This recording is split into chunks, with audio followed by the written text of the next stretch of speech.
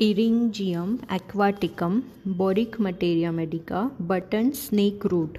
A remedy for urinary disorders, strangury, etc. with nervous erethism, thick yellow mucus discharges, influenza, uridrosis, sweat of urinous odor in evening respiratory cough with sense of constriction smarting in throat and larynx urinary tenesmus of bladder and urethra, difficult and frequent micturition, pain behind pubis, spasmodic stricture, renal colic, congestion of kidneys with dull pain in back, running down the ureters and limbs, irritable bladder from enlarged prostate gland or from pressure of uterus.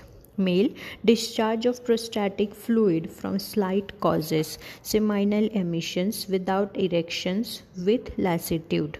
Relationship compare conium cannabis dioscorea. Clematis dose tincture to third potency.